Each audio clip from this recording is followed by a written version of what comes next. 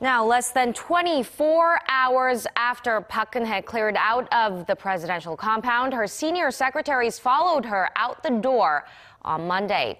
The disgraced former leader who returned to her private residence on Sunday must now prepare for questioning by the prosecution over her involvement in a massive corruption scandal without the immunity that helped her avoid investigation. Until now, Song Ji-sun starts us off.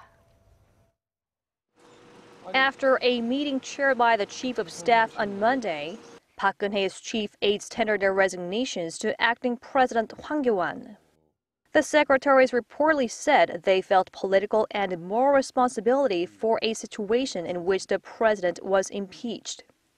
The prime minister will likely reject some or all of their letters, as the secretaries will be needed to assist the next administration following the presidential election, which is less than two months away.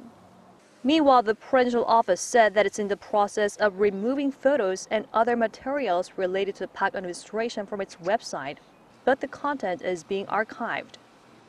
Links to Cheong Wa-dae's social media accounts were also deactivated on Monday.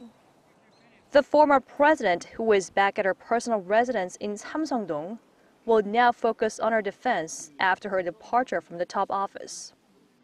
Park Geun-hye can be summoned for questioning as early as this week and the prosecution is expected to expedite its investigation ahead of the presidential election in May.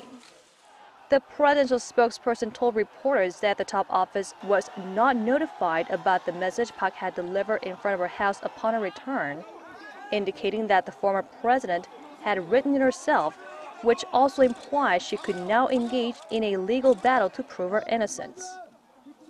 Song Ji-sun, Arirang News.